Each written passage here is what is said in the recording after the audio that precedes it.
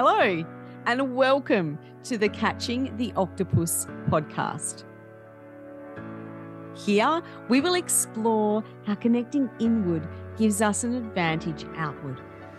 We openly talk about the obstacles and challenges and difficulties that life throws our way and how they become moments of gratitude and things that can benefit us when we look back on our lives.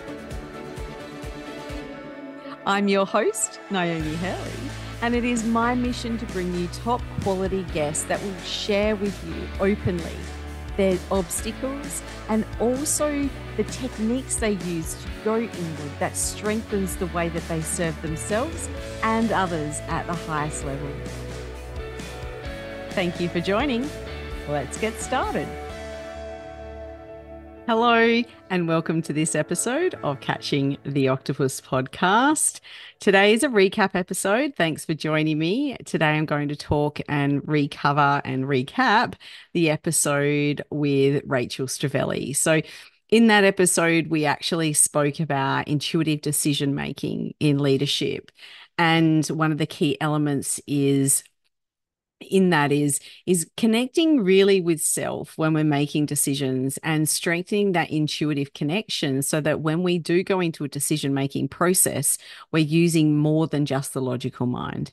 And the logical mind is essential in us being able to make decisions you know? We still need to tap into that. We need to have a look at the facts and the figures and you know, what are the risks and the outcomes and all those sorts of things. But when we can tap in as well to that intuitive side, we get a little bit extra information that we're able to make a decision based on that isn't reliant on just the goings and the happenings, but really more in the doings and where we need to be. So, Rachel um, followed her own curiosity, leading her into a role of being a growth coach. So she is you know has used this process in making decisions based around her career as well as just the everyday things in life and and I did the same so I was as you know had a corporate background in HR and safety and I'd worked really hard to establish myself with a really good reputation in that role and in the industry I was in. And, you know, even when I first left my corporate role, I was approached by some of the competitors to say, Hey, will you come and work for me? And I was kind of like, No, but the whole idea of what leaving that role I was in was to create my own business and create a change for myself. And intuitively, I knew that that was the right thing to do. And, you know, I looked at all the facts and the figures. And if I'm being honest, some of those should have led me to go back and get a day job, right? Because it was a really big change to make. There was a lot of uncertainty that I had to go through. But I knew so strongly that it was what I was supposed to do and what I was meant to do that I followed that. Now, with intuitive decisions, sometimes it may seem like it's the wrong decision. And this can be really tricky to navigate, right? So when we tap into our in- intuition and we go, right, I'm going to go with option A, that's the right option to go with. Sometimes going with option A may not actually get us where we expected to be. But that doesn't mean it was the wrong decision right? I have spent my life just, you know, having these big dreams and big goals, and I've followed them and followed different paths to get me there.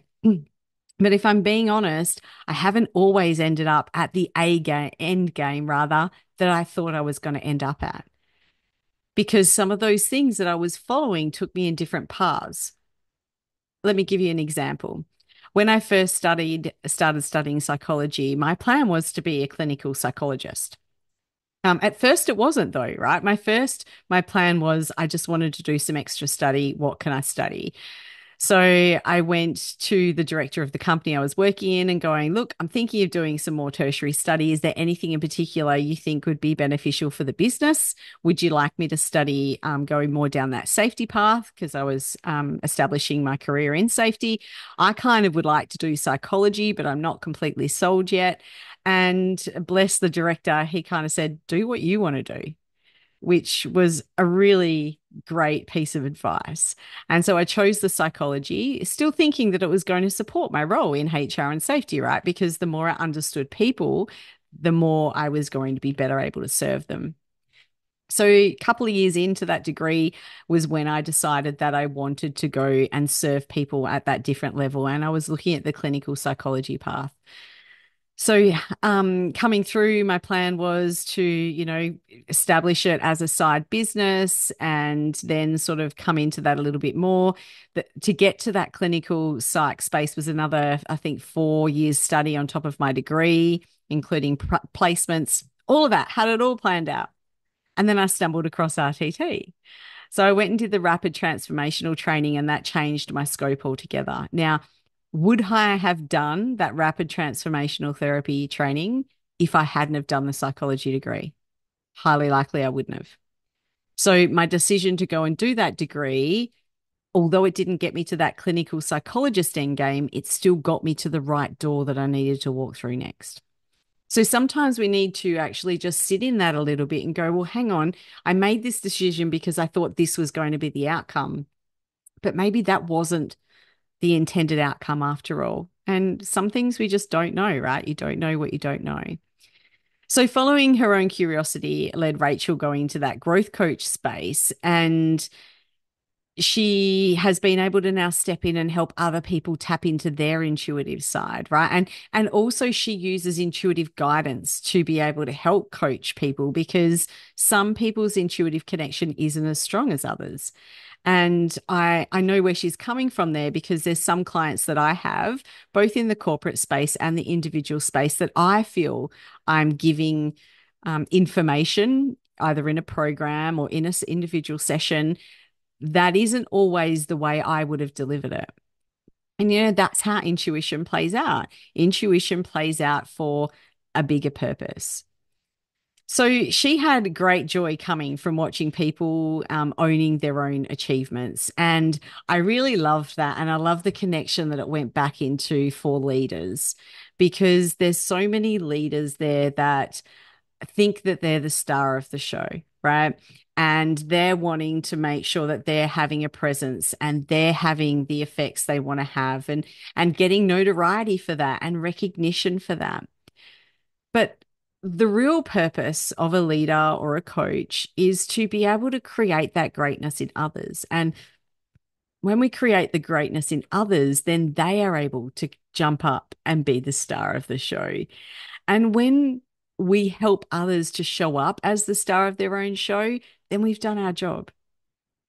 And if we've done it well enough, they won't even give us credit and recognition because they know that they've done the work, right? They feel like it's been their decisions and their process and their growth that's helped them show up the way that they show up. And so it's a little bit of a um, you know, an oxymoron, I suppose, in that the if you are able to help people on a really deep level, the more successful you are at that, the less recognition you get for it, which totally goes against everything in that whole patriarchal system of having to win, having to be the best, having to be recognized, having to um, show up and get credit for all those sorts of things. So, basically, in summary, your job as a leader is to make other people shine. And ultimately, it's not even about you, it's really about them. So, in my conversation with Rachel, we also went and spoke a little bit about emotions and how emotions can be information.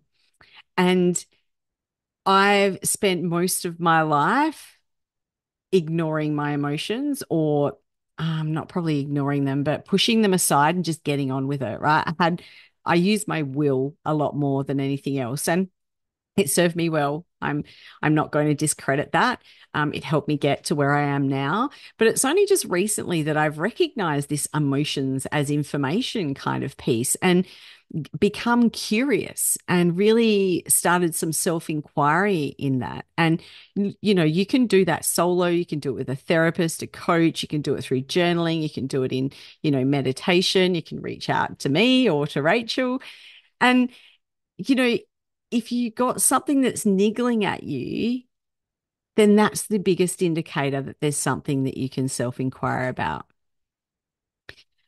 We often not have, we don't often rather have that awareness of moving and shifting into spaces that are uncomfortable and that are unfamiliar to us. And so we will just keep motoring on with the things that we've learned throughout our upbringings and through our early teens and, and early adulthood and keep in that place. And when we do, though, we can become stuck because we're not learning those new ways to process and grow. And using emotions as information has been pivotal in upgrading me to the next level.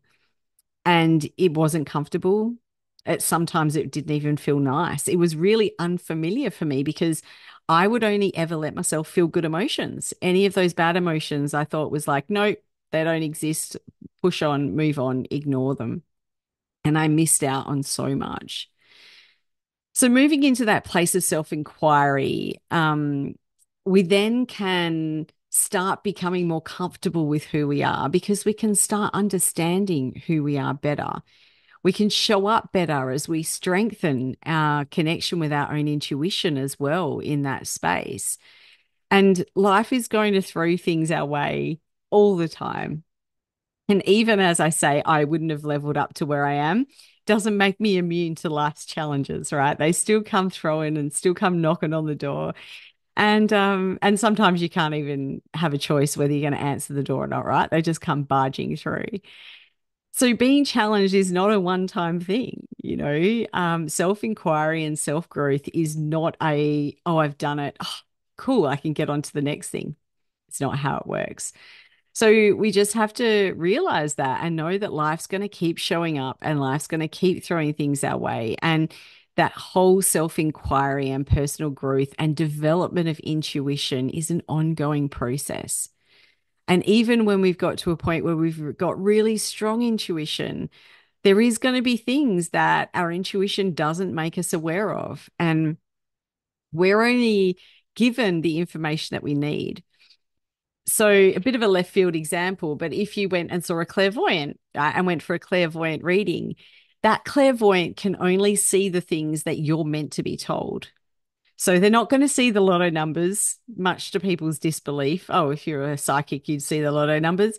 Not if you're not meant to, right? Because there's this higher space at play. You know, this intuition, this information comes from ourselves, but that's also channeled down to us from a higher place. And it's like, you know, with your children, you're not going to give them everything, you're only going to tell them what they need to know. And so that's kind of us as we mosey on through this thing called life. So, some ways you can strengthen your intuition kind of through meditation. I mean, that's the way that I've been able to do it. Um, journaling um, through your dreams, recognition of those, through tapping into your emotions, and that self inquiry can also strengthen your intuition. Um, you can also do the different courses and programs if that's of interest to you as well. And I know I've done quite a few of them. I've um, done mediumship development courses that I didn't think I'd be really good at. Um, and I'm not. I'm not a spirit medium. I'm not great at speaking with um, dead people and spirits. But I was surprised at some of the information that came through in that space. And it got me curious. So I did a course um, with a gentleman named Anthony Grzelka, who is um, a local spirit medium here where I live. Um, is also, I think, Australia's Ghost Whisperer is one of his brandings, and he's amazing. He's very good at what he does. And so he ran a program. And I remember saying to him, Oh, should I come along? Like, I'm not, I know I'm not a medium and I know I don't have those abilities. And he kind of said, Well, you know what? If you thought, if you're interested in tennis and you thought that that would be fun, look, your coach might not get you to Wimbledon, but doesn't mean you can't have a hack around game. I'm like, Oh, I like that analogy. I'll sign up. So I did the program with him. And look, yes, I had some hits. It was like kind of, um, oh, there was someone, people came in with photos and things, and we did readings for them. I was like, oh, yeah, you got a relative named John. And they're like, yeah. And my head's going, yeah, well, most people have a relative named John, right? So um, I did it and I sat in it and I did the exercises. But the the pivotal moment that I realized there was something bigger than me going on was our last session. So Anthony got in a group of volunteers. I think there was about 10 or 15 people in the room. And then one by one, we came in and stood in front of the room and did like those little readings. You know, you see um, stage readings that mediums do. So I was the second person um, to come in. There was a, we were a group of 10 and I did the reading and I was like, oh, there's someone here that's got a family member named Mary over that side of the room. And there was some Italians in the room going, yeah, that's us. And I kind of looked at Anthony with this look like, really? And he's egged me to go on. So then I picked up someone had lost a child in the room, which um, probably isn't unrealistic for the number of people that were there. Um, and then some other emotional things and rah rah rah right? So probably all that for about five minutes was just saying stuff that just popped into my head. And if I'm being quite honest, I just thought it was random stuff popping into my head. I, I didn't actually feel that there the connection, and and I've realized now that that's how I operate when I get things. And now I it's very it's so subtle that I couldn't realize it at the time. But the more I tune into it, the more now I'm actually like, oh, hang on, that wasn't my thought or that wasn't my idea. So, anyway, where I'm going with this story. So the next I sit down and the next person comes out and and as we did the readings everyone had to wait in another room right that was in the course and then we just came out one by one but then we could sit in with the group and watch. And the next person came out picked up Mary, picked up a, a lost child, picked up pretty much the same stuff I did. It delivered it in a different way but picked it up and I went, "Oh, that's interesting." And then the next person, same thing, and the next person and the next person. And all of the people after me, you know, they had a little bit of different information from time to time, but they all picked up on the same things that I said. And my mind was blown. And the only thing I could think of was there's something here that I don't know and I don't understand, and I want to. And I'll be honest, that was a really big spark in my curiosity for uh, learning more about energy and how energy worked and how we could tap into that because it, it obviously existed. Like I saw it. And from a place of, I, I wouldn't say I was a um, skeptic because I definitely believed in that spiritual element, but I didn't have the belief that that was possible. And so I tapped into my curiosity and started working on strengthening that intuition and strengthening those skills. And the thing is, we've all got them. We've all had that space where we know the phone's going to ring and it rings, or we're thinking of someone and then they call, or we go to text someone and they're texting us at the same time. Like we've all got an intuitive element to us. It's just that sometimes we don't actually realize that we can use that. And it's a superpower we can use for good. If you're enjoying this podcast, and you want Niomi or any of her guests featured on your podcast or as a keynote speaker at your next event, you'll find their contact details included in the show notes.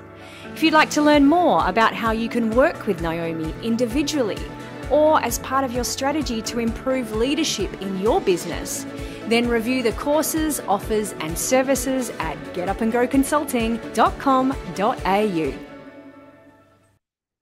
And so, as I said before, though, we don't want to cut out the logical mind, though. This isn't about just leading from a place of, oh, I've got a gut feeling, although gut feelings are valid. I don't want to invalidate them. But we also need more information because we're still humans, right? We're humans or we're spiritual beings coming here for a human existence. So we still operate within that human existence. And I think that's why it's been so important for me to go and do my tertiary study and study that psychological science and all those sorts of things because I want to know how it all connects and works together. Haven't figured it out yet. Um, but maybe one day, maybe I will, maybe I won't. But that logical mind um, is still important. And Rachel used a really great analogy that I wanted to reshare with you here. And that was like the logical mind coming in as the data scientist, right? Bringing in the data, having done the research and having all of those, inf- that information there that is able to be used.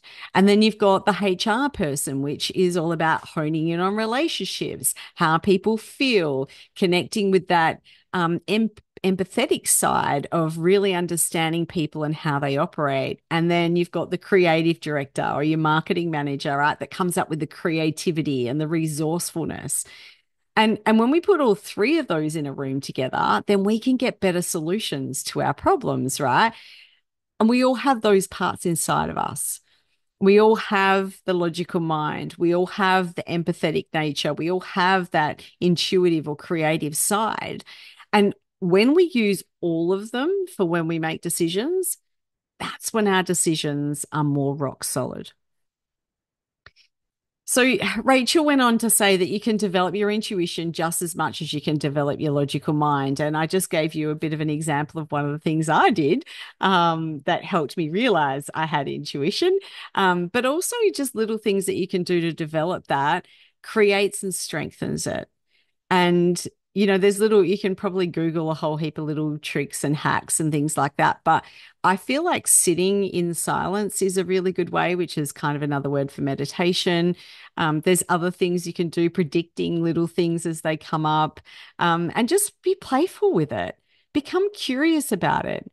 I think because we can't see it and touch it and it's not tangible, sometimes there's some fear attached to it. And it's about removing the fear and just playing with it.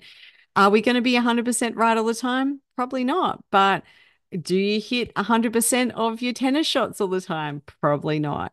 It's just about getting in and having a bit of fun. And the more we do anything, the more we strengthen that muscle. And so the more we actually connect intuitively and use that intuition, the stronger it's going to get. And you may be like me. You may not even feel your intuition coming through. You may not even realize, but after a while, you will. You'll start sensing it, especially if it's as subtle as what it is in me. Um, you know, I've I even look back at my life and I'm like, oh, it's so interesting. So when I was about 18, I remember just sitting down talking with some friends and we're talking about goals. And I'm like, you know, when I'm 25, I'm going to own my own home and then I'm going to have a kid when I'm 26. Hadn't even met the father of my child at that point. Um, turns out I moved into my own home that I purchased just after I turned 25, and Bryce was born a couple of months after my 26th birthday. So, some may say I actually made that happen, right? Because I put that goal out, I made it happen. 99% probably correct. But also at 18, why was that even coming into my head? You know, if I get curious, maybe it was a little bit of both maybe intuitively, I kind of knew that that's where I should be. And so, what that did is set me up to use that logical mind and those resources to be able to get me to that point. So, there's this like little balance and little dance between those two things that can help us achieve and get us to where we need to be in life and, and for our purpose of what we want to do here. So, Rachel also connected that intuitive side to creativity because it's kind of boundless. And she said keeping connected to intuition and keeping creative side flowing can then help us shift and pivot where we need to. Because we, as the human side of us, definitely like structure and what's familiar. And so when we're actually just in the logical mind, we'll find all the reasons for and all the reasons against something that doesn't fit with or does fit where we need to be or want to be. Whereas when we keep connected to the intuition, that can give us a little bit more flexibility. You know, we don't have to be rigidly fixed into that mindset of it needs to be this way or it doesn't happen at all, you know, like my way or the highway. Like the intuition can then come in and go, well, does it? But what if we just tweak this? Oh, why don't you try that? And it allows us to be a bit more creative with things and come through. Um, so one of the biggest steps though coming into this space is really being courageous. And being courageous is stepping into your true self. It's not an easy journey for most. Right. There's things that we experience during our lifetime that sometimes we purposely push down, that we don't want to bring back up, that we don't want to process. But, you know, it, it's scary as well to think that others may judge things within us that we haven't shown others previously. You know, this is very relevant to me. I, I worked in corporate in logical roles for such a long time. And I downplayed my intuitive nature a lot because it didn't fit in in the culture that I was working within. And then stepping into my own business, um, some of you, if you knew me when I first did that, may remember that I never used the word hypnosis or hypnotherapy, I always talked about, you know, it's a meditative state. I take people into to process their emotions, Like, why did I do that?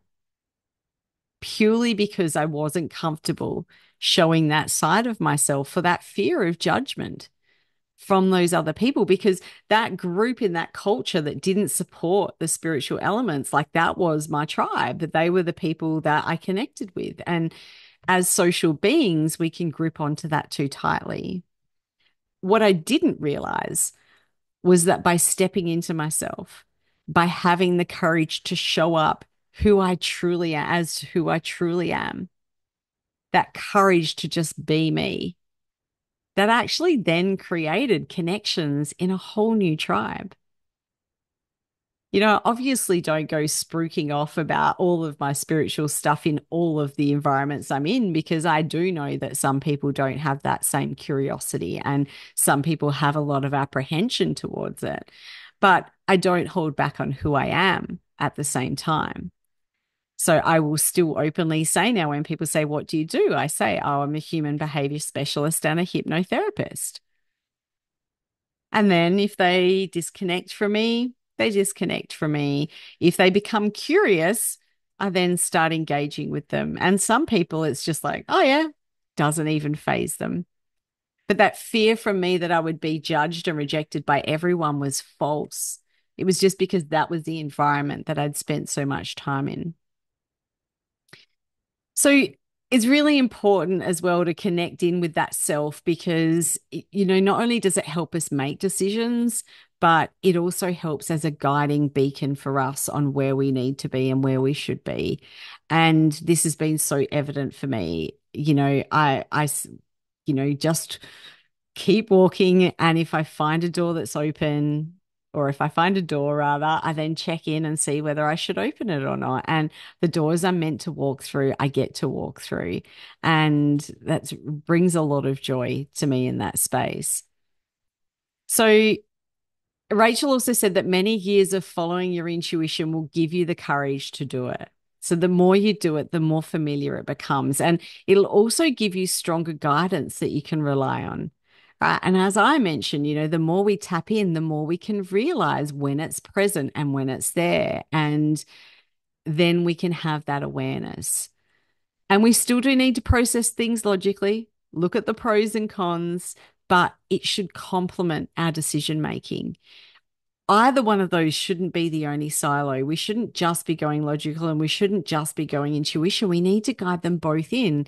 That's what human existence is about and connecting at uh, using that analogy that Rachel had, connecting that scientist, the HR, and the marketing director to really come in and create those effective decisions.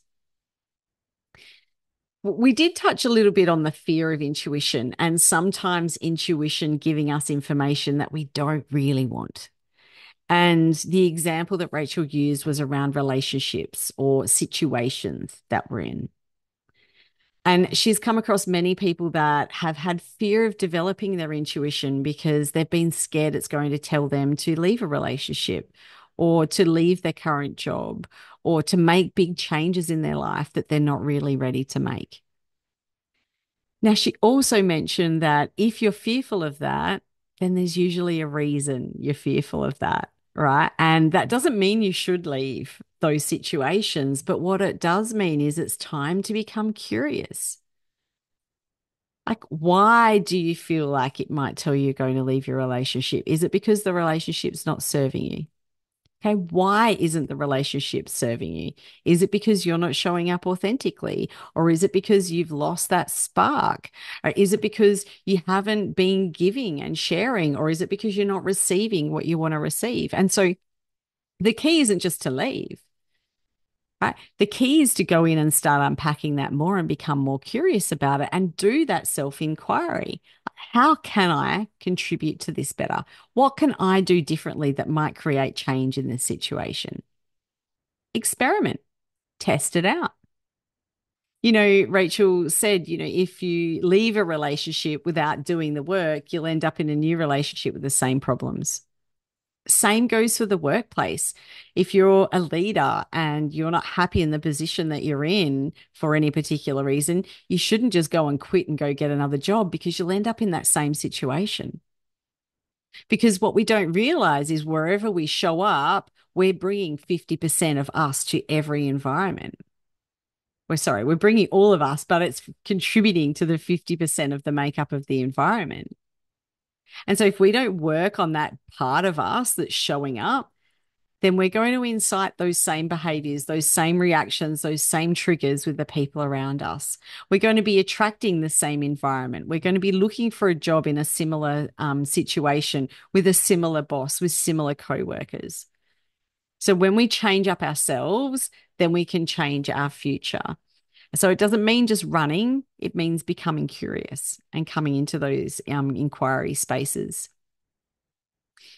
Um, we also talked about, well, I, I, kind of brought up, you should never make a decision drunk. And I got that um, quote from my psychologist many years ago. Um, and that doesn't mean alcohol, doesn't mean being drunk on alcohol or drugs or anything. but what that means is by being affected by emotion. And so when we make a decision, we need to make sure that we're showing up to that decision with clarity and emotion, whether it's a heightened emotion or whether it's a lower emotion, whether it's happiness and excitement, whether it's sadness and frustration and anger, they're not true indicators. Like they're not allowing us to tune into ourselves in a strong way. So we're being influenced by those emotions in the decision making. And I don't know if anyone's been to a Tony Robbins event, right? He's very good at this. He gets people's emotions heightened, everyone's excited, and then he drops a program, and majority of people go and enroll in that program. Um, I was one of them. I enrolled in business mastery. Oh, it was the Mastery University, I think he called it. So it was business mastery, oh, sorry, life mastery and wealth mastery. Um, and I ended up doing business mastery and then pulled out of the other ones because um, I didn't feel like it would suit me. But at the time, I was all in. Yes, we're going to do this because of my emotions. Right. So what we want to do though is when we're making a decision, if we want to make a decision that can really tune in to that intuitive side of us, is take time out. Take the time to pause, reflect, and just listen to what our intuition is showing us. So I we talked a couple of examples that I kind of use, um, and especially with my kids and stuff like that, and helping guide them with decisions is sitting in the decision and seeing how your body responds. So saying to yourself, oh, should I stay in this situation? How does your body respond? Now, sometimes it's that subtle that we don't even notice that it's responded. So we also need to ask the alternate question as well. What happens if I don't leave? and see how the body responds. And then we can use that information. It's kind of like using the data then that the logical mind can still come in and go, okay, here's the pros, here's the cons, here's what the intuitive said. Okay, now I'm going to make a decision that is more educated and more holistic. Um, we also talked about flipping coins as decision making tools.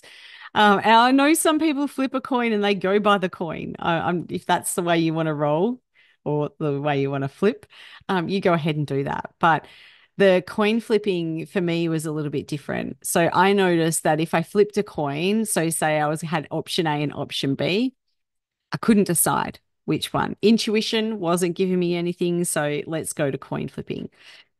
And you probably wouldn't coin flip on big major decisions either. Disclaimer there, right?